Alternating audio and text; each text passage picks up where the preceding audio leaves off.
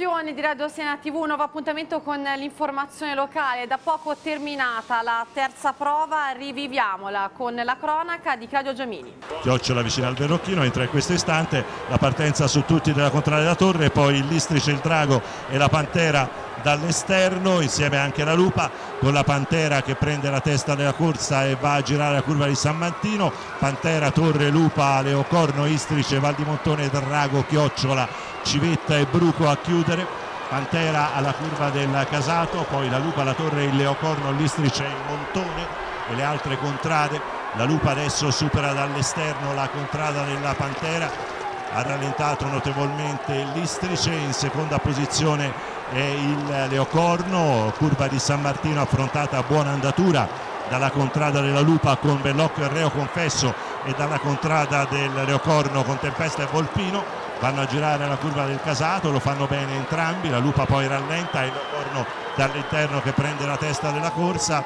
Abbiamo avuto anche una caduta nella civetta all'altezza della curva di San Martino.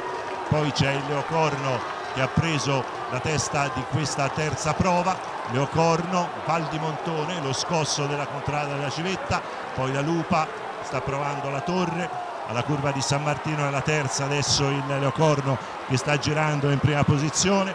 Alle sue spalle c'è il Val di Montone il Leocorno che gira la curva del Casato gira il Leocorno e arriva primo al bandierino Andrea Coghe detto Tempesta e Volpino. E restando a parlare di palio ai nostri microfoni i capitani di Valdimontone e Drago hanno fatto il punto sulle rispettive scelte con il capitano del Val di Montone Stefano Marchetti. Allora capitano, parliamo subito di questa accoppiata del Val di Montone, eh, Vizzichese un cavallo nuovo e arriva poi Antonio Mula, quindi il Val di Montone sceglie un giovane al suo primo palio. Parliamo proprio di questo. Sì, sono contento di aver fatto questa scelta, Antonio era nei, no nei nostri piani e vabbè, la, la sorte ci ha assegnato questo soggetto e sono contento eh, di aver potuto montare Antonio.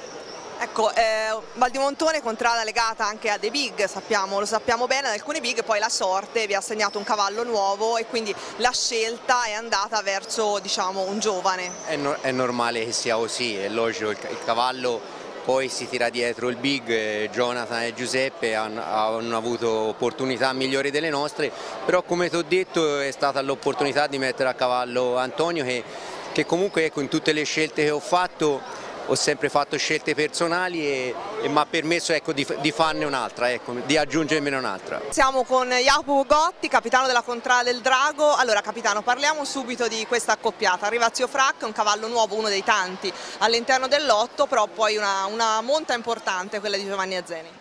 Sì, era un cavallo che a Giovanni piaceva, uno me ne aveva dati pochi, come gli avevo chiesto, questo era uno di quelli è un cavallo che era piaciuto anche al mio veterinario, sapete io mi fido molto della mia stalla e a quel punto ho detto ci si prova, ci si prova perché poi i treni passano una volta, quando passano bisogna salirci e, e provarci fino in fondo.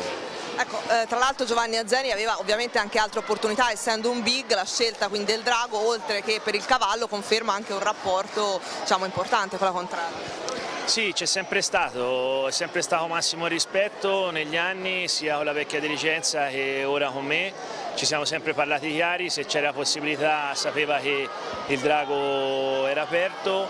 Dopo l'estrazione, l'estrazione ha segnato un po' ancora di più la possibilità di, di venire nel drago e poi una volta è venuto il cavallo che gli piaceva abbiamo concluso. Sena e il Palio fanno scuola in Italia per la tutela delle feste popolari. Sentiamo a riguardo Katia Ballacchino, antropologa incaricata dal Ministero della Cultura per aprire un dossier sul Palio e sulla sua valorizzazione. Io sono emozionatissima perché sono appunto, è dal 2019 che rincorro il Palio quindi è assolutamente il momento clou per me perché io non posso scrivere neanche una parola né fare un lavoro serio senza vedere il palio, ma soprattutto osservare e compartecipare per quello che mi sarà permesso con l'emozione dei senesi.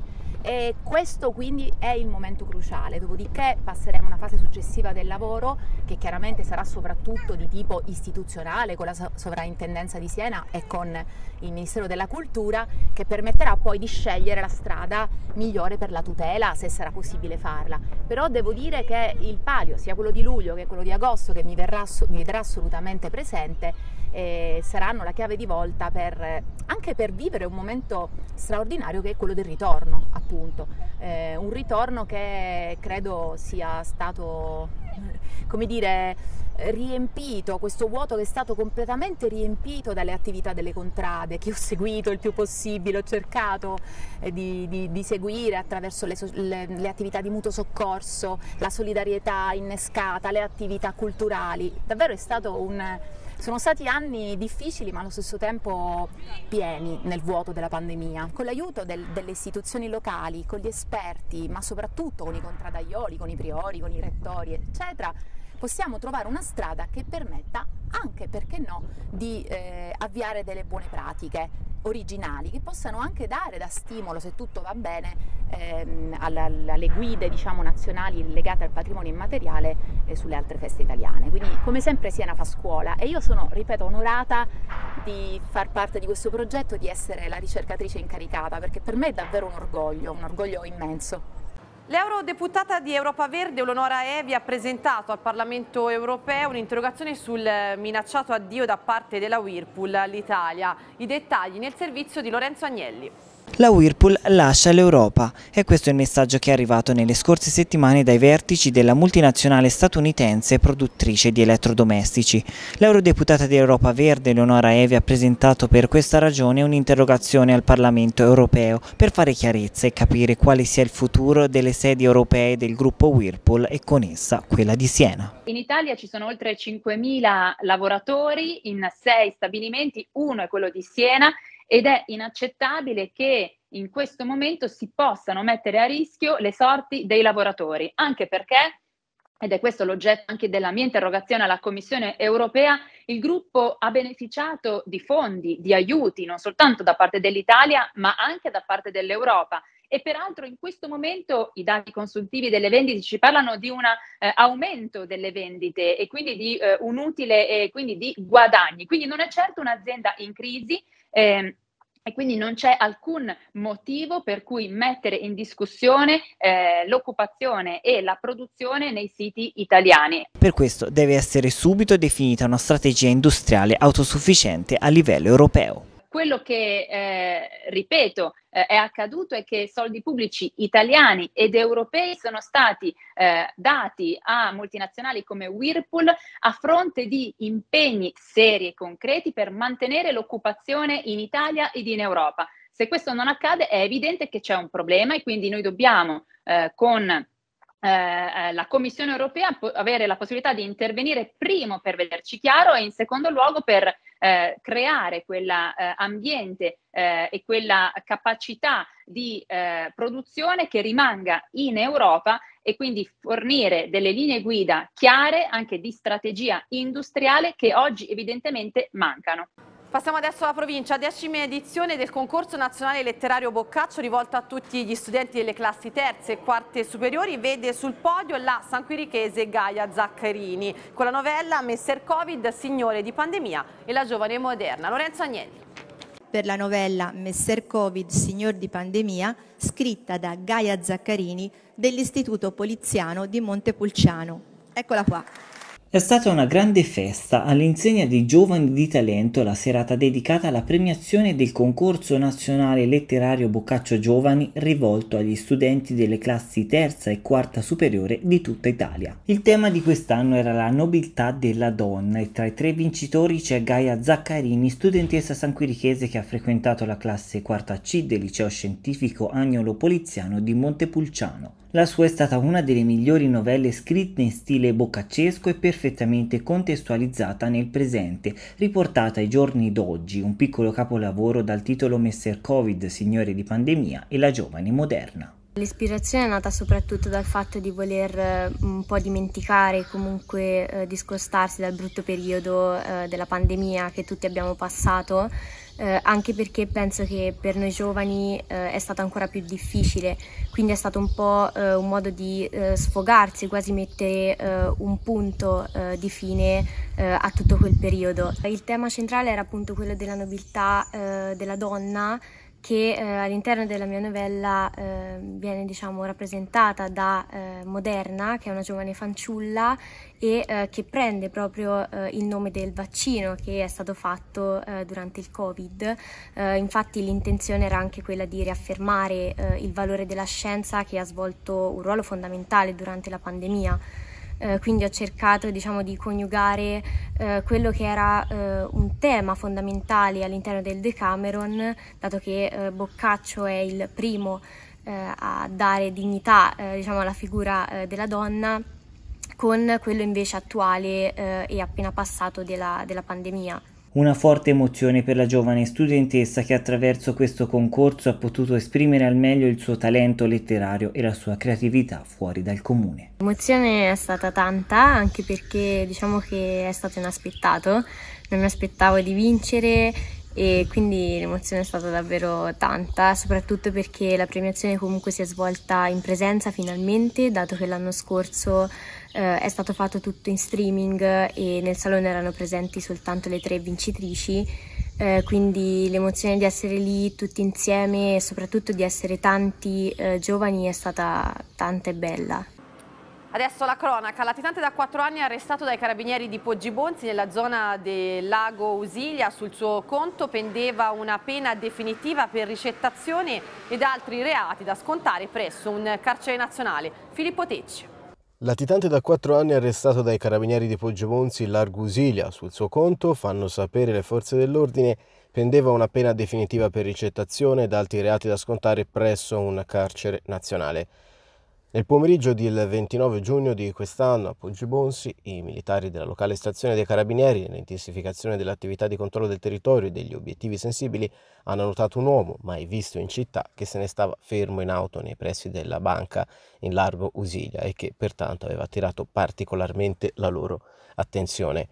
Procedendo al controllo hanno appurato che si trattava di un cittadino rumeno che da ben quattro anni si era reso latitante poiché sul suo conto pendeva una pena definitiva per ricettazione ed altri reati da scontare presso un carcere nazionale. Il soggetto è stato quindi immediatamente trasferito alla casa di reclusione di Siena dove sconterà quasi due anni di detenzione e posto a disposizione della Procura della Repubblica di Siena. A San Gimignano arriva il Festival della Creatività Under 35 al Parco della Rocca di Montestaffoli, due giorni tra talk, arte, musica, teatro e poesia. Uno spazio interamente dedicato alla creatività dei giovani under 35 del territorio che per due giorni avranno la possibilità di esprimere la propria arte declinata in ogni sua forma sarà il Parco della Rocca di Montestaffoli a San Gimignano, venerdì 1 e sabato 2 luglio. Il palcoscenico naturale di In3C, Festival dei Giovani Creativi all'interno del ricco cartellone di eventi estivi organizzato dall'amministrazione comunale la due giorni tra talk, arte, musica e teatro, poesia, inoltre rientra in un più ampio progetto di valorizzazione dei giovani nato in occasione del trentennale UNESCO di San Gimignano. E proprio la tavola rotonda UNESCO Cultura e Partecipazione Giovanile alle ore 18 aprirà la rassegna. A moderare saranno Giulia Lisi e Giulio Guazzini, tra gli ospiti Matteo Rosati, Alessio Re, Alessia Montacchini. Nella giornata inaugurale invece saranno protagonisti le varie arti visive con Michele Bertollini, Sofia Giuntini, Domitilla Marzuoli e tanti altri ragazzi, mentre dalle ore 21 in poi musica live con Matteo Banni e Andrea Conforti e ospiti autorizzati. Sabato 2 luglio alle ore 18 la tavola rotonda Quali passi fare per vivere di cultura? Istruzioni per giovani artisti creativi visionari. Moderano Giulia Lisi e Giulio Guazzini. Ospite Alessandro Bianchi, regista e Cinzia Cucini, fondatrice e foto editor di Giostre Edizioni. Passiamo alla Val di Chiara. In occasione del primo giorno di saldi in Toscana, chiusi ripartono le iniziative dei commercianti di chiusi in vetrina. Soddisfatto il sindaco Gianluca Sonnini che parla di un evento importante per ritrovare la socialità. Il servizio di Simone Giani. Torna anche quest'anno a Chiusiscalo Sali Rosa Shopping, un'iniziativa dedicata allo shopping serale fra le vie della stazione che nei giorni del primo e del 2 luglio vedrà i negozi aperti fino a tarda sera, un modo per far ripartire il commercio e tutte quelle attività che hanno sofferto per i due anni di pandemia, confermando la sinergia tra l'amministrazione comunale e le attività economiche del paese. Ormai diventa è diventato l'evento dei saldi Rosa Shopping, comunque un evento di riferimento no? nel settore commercio ed è fondamentale che si abbia questa, questa, ripartenza, il fatto che anche i commercianti si siano di nuovo riorganizzati per poter dar luogo a questa iniziativa che ormai eh, sono diversi anni che viene portata avanti e questo dà modo oltretutto di ripopolare le vie, le vie di Chiusiscalo dove sono stati fatti nel tempo anche degli investimenti su Piazza Garibaldi e questo è un elemento, un elemento importante, ritrovare anche quella socialità, riabituarsi a, a, stare insieme e quindi ecco già sono iniziati una serie di, mh, di appuntamenti in centro storico e il fatto che anche Chiusiscalo si riviva, diciamo così, e quindi i cittadini possono riappropriarsi delle vie, delle strade, eh, è un elemento ovviamente che possiamo salutare con grande soddisfazione. Ci saranno anche delle serate musicali e quindi ecco, affrontare questi periodi particolari di uscita dalla pandemia, però anche di questa emergenza eh, umanitaria che stiamo vivendo, con tutte le difficoltà che sono connesse dà la possibilità anche di superare no, tutte queste, queste, difficoltà, ritrovare la socialità è fuori dubbio un elemento importante per la nostra comunità. Adesso la pagina sportiva, il calcio, il Sena si allenerà a Quercegrossa per i prossimi dieci anni. È questo quanto si apprende oggi dall'accordo siglato tra le due società. Filippo Megliattini. Il Siena ha un nuovo quartier generale. Dopo l'ufficializzazione di Guido Paiuca sulla panchina è arrivato un altro annuncio. I bianconeri si alleneranno a Quercegrossa. L'accordo con il gruppo sportivo del posto avrà una durata di 10 anni, a partire dal 1 agosto 2022. La Robur usufruirà dei due campi in erba e terra battuta, oltre ad utilizzare gli spogliatoi, la stanza ad oggi dedicata a ludoteca e i parcheggi esterni. Verrà poi allestita una palestra con alcuni macchinari di ultima generazione. Il settore giovanile invece non si trasferirà trasferirà e continuerà anche per la stagione 2022-2023 ad utilizzare l'impianto Bertoni dell'acqua calda, una mossa che dà stabilità al Siena, dato che la mancanza di una struttura di riferimento dove svolgere gli allenamenti è una problematica ricorrente nella storia bianconera. Per quanto riguarda la Rosa, oggi 30 giugno scadono molti contratti e l'intenzione della dirigenza sembrerebbe quella di non rinnovare gli accordi. Il lavoro da fare, a partire da domani sul calciomercato, sarà intenso, con un gruppo di giocatori da costruire per mettere Guido Paiuca nella posizione migliore possibile per esprimere il suo calcio. Ed era questa la nostra ultima notizia, adesso vi lascio al nostro lungo palinsesto dedicato alla passione palio.